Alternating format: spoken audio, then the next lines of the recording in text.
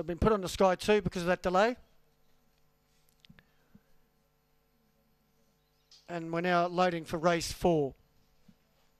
Second line goes in. Favourite box one, Skittish Express. Thank you, Mike. And an evening to you. There's the green light. Lure rolls. Favourite box one.